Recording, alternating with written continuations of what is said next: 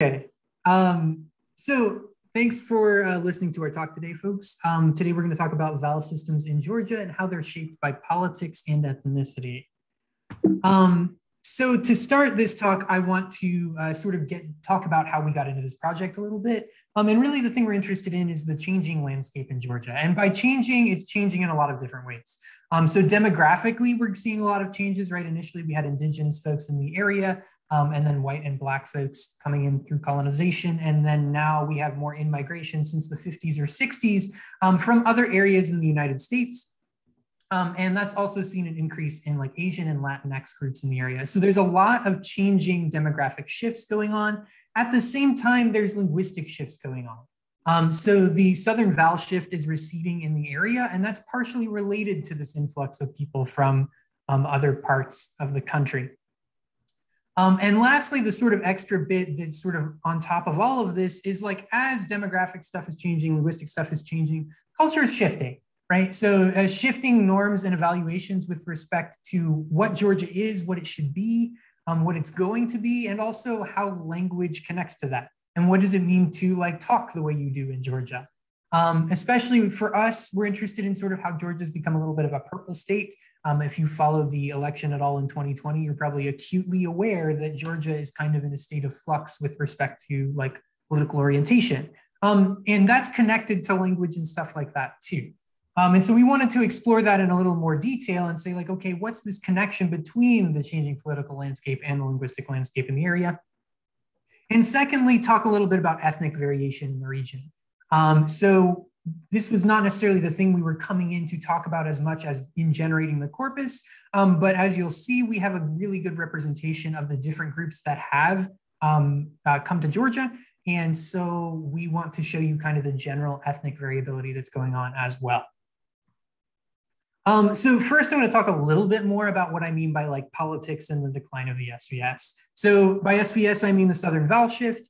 Um, and as you may know, it's in retreat among younger white speakers, especially in like urban areas. Um, Georgia's no exception here. Um, in Atlanta, the Southern vowel shift is in retreat among younger white speakers. Um, so we know that's happening, but I would also argue that the Southern vowel shift is a change from above.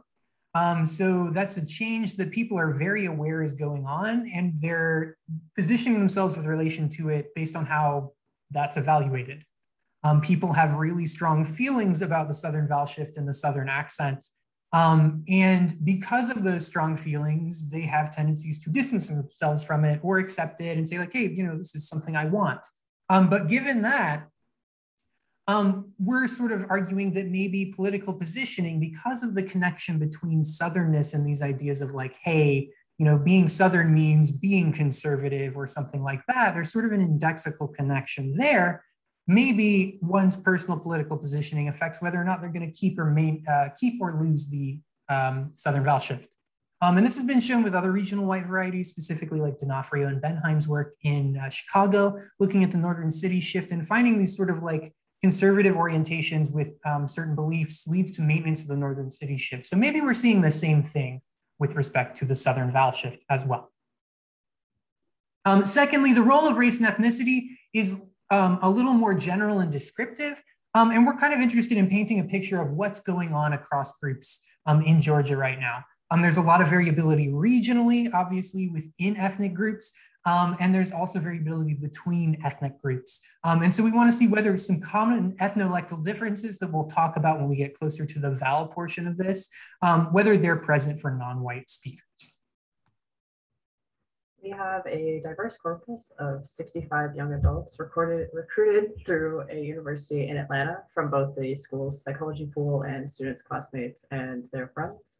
And perhaps most importantly, all of these participants grew up in the state of Georgia, with 11 who lived outside of Georgia for up to eight years. And if you're interested in hearing our speakers who consented to sharing their reading passages online, you can find those at the link on screen, and we'll also be sharing some examples throughout the presentation. So with each speaker, we started with a sociolinguistic interview, and right afterwards, we also recorded a reading passage. Each of the interviews and passages were transcribed using Praat text grids, and these were then run through DARLA, created by Dartmouth College, which also which aligned the uh, transcriptions and extracted the vowel formants, which were normalized by speaker. Finally, the participants filled out a survey of demographic information and political beliefs. We gathered demographic information, including the basic things like their age and their ethnicity, as well as information about where they've lived, as well as their parents' education and where their parents have lived.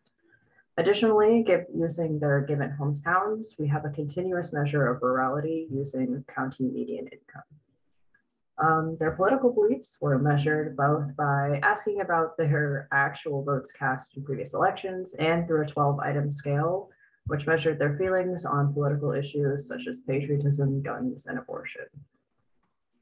And this is an example of um, questions that the participants saw. So the first one you can see is how positive or negative do you feel about regulations on businesses on the scale of one or of zero to 100, where zero is very negative and 100 is very positive.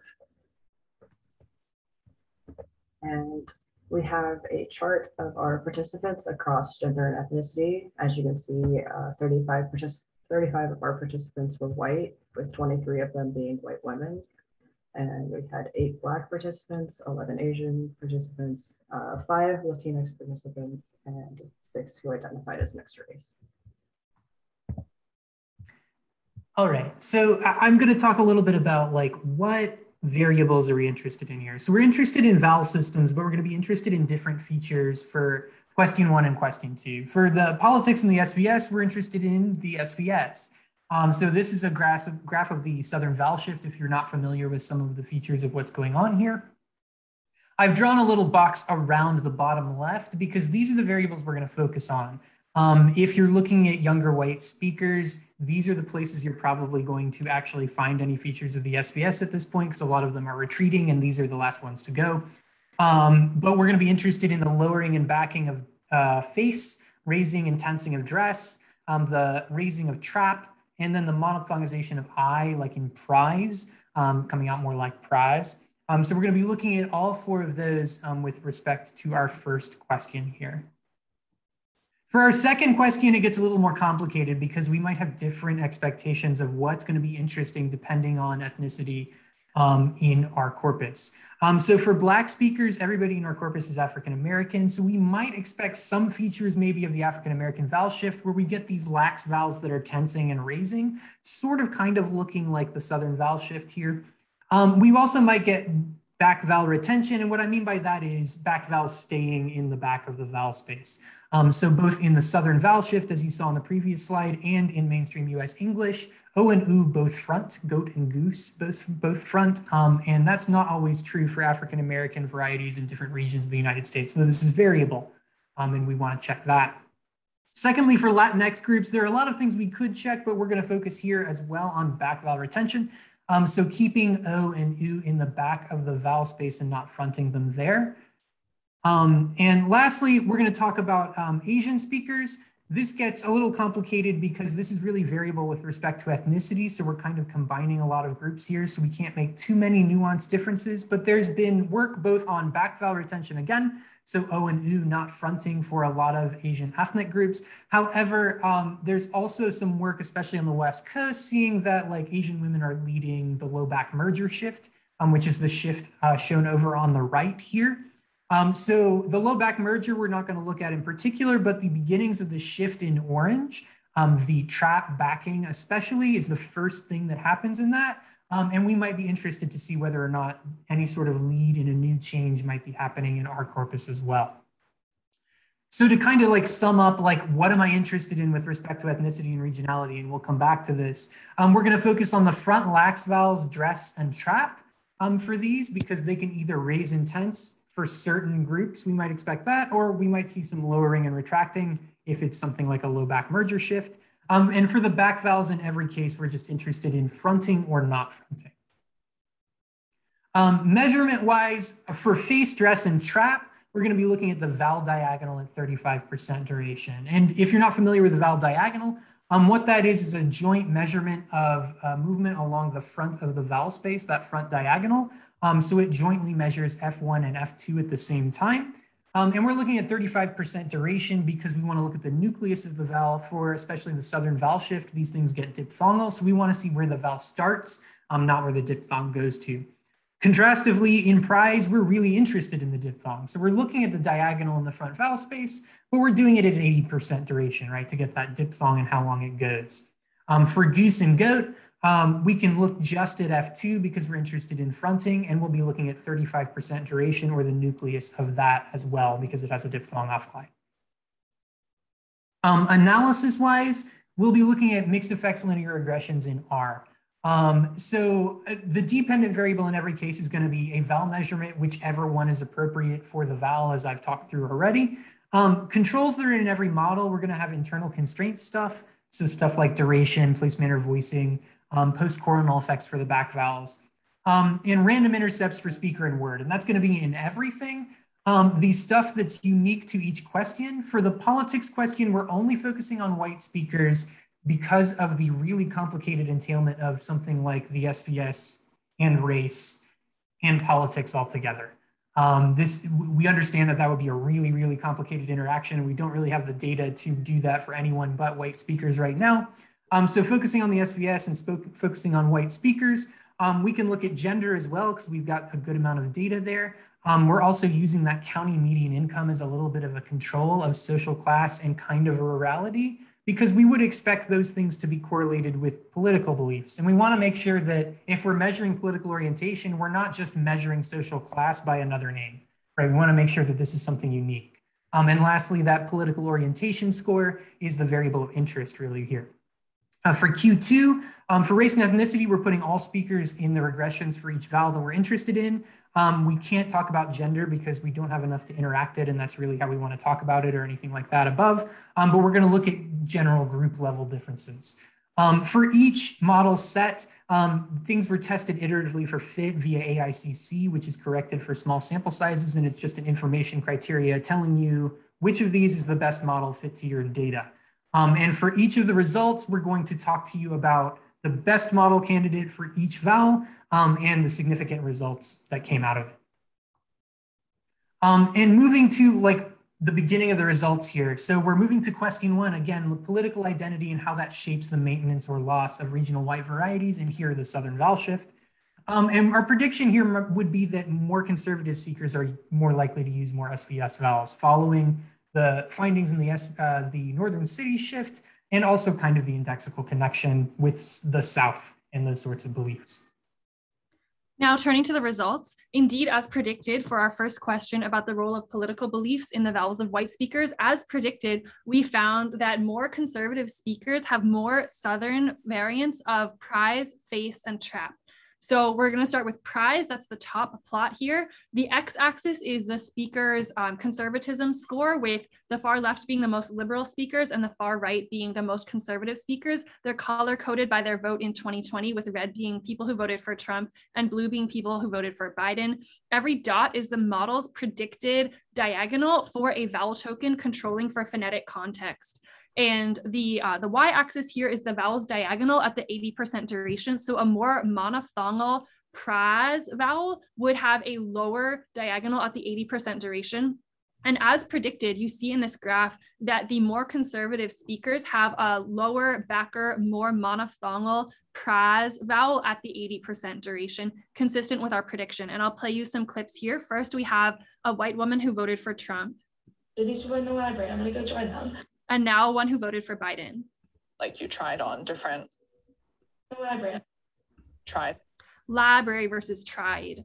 And then now looking at the lower graph, here we have their predicted um, uh, diagonal for the face vowel, where again, a more conservative speaker would have a, um, is predicted to have a lower and backer, more Southern variety of face. And indeed, that is what you see in this graph, where the, uh, the more conservative speakers have a lower and backer, more Southern variety of face, and the more liberal speakers have a, a higher and fronter variety of face. And I'll play you some clips here too. First, starting with a woman who voted for Trump. But yeah, then I switched my major to neuroscience. And now one who voted for Biden. Changed my major from major to major. Now turning to the role of gender among white speakers. So here we see um, that perhaps unsurprisingly, men have more Southern and also less low back merged variants of trap, face, and dress. So as you see in this graph, this graph has the F2 mean as the x-axis and the uh, F1 as the y-axis. Here we see that men have a higher and fronter trap, women have a lower and backer trap.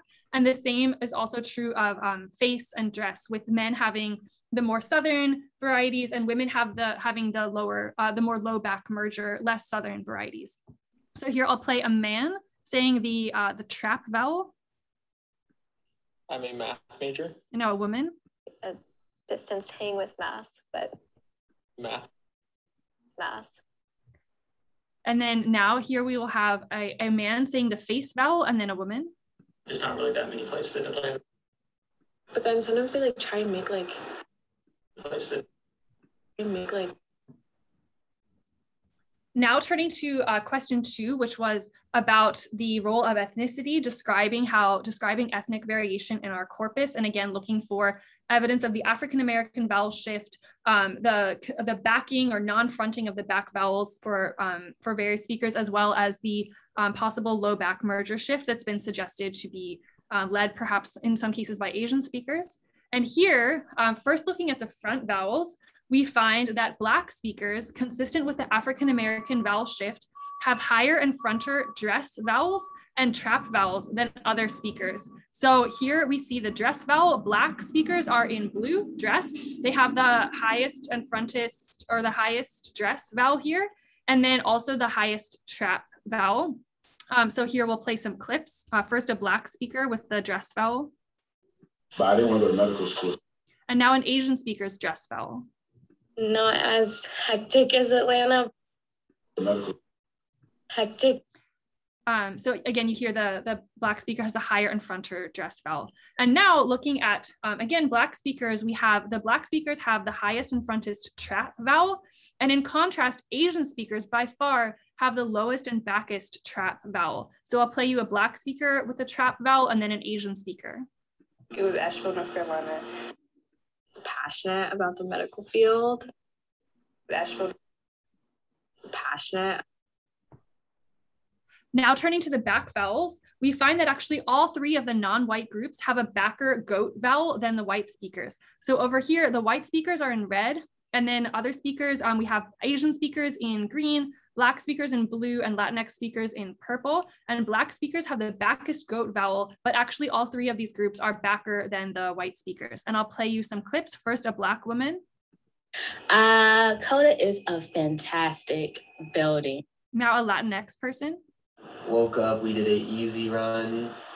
Now this speaker is Asian. It's like yoga classes and stuff. And this speaker is white. Sustainable focus, but it was Coda What? woke up Yoga. focus.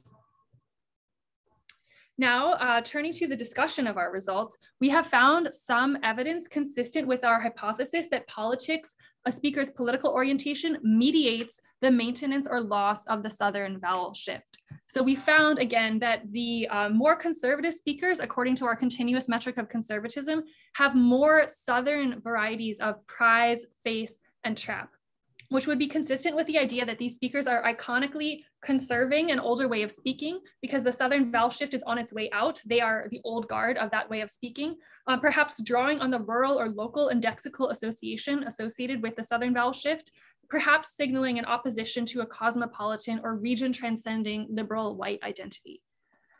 As for gender and ethnicity, it's perhaps unsurprising to find that men are lagging behind women in the ongoing change and progress, shifting away from the Southern vowel shift, shifting towards the low back merger shift. Very common for women to be changing faster, men to be changing, changing slower, and that's what we find here as well. And then as for the role of ethnicity, we found that um, indeed there's evidence that the Black speakers are showing some African-American vowel shift, um, raising and fronting trap and dress, that actually all three of our non-white groups, Black, Latinx, and Asian speakers, are all um, backing or not fronting the back goat vowel.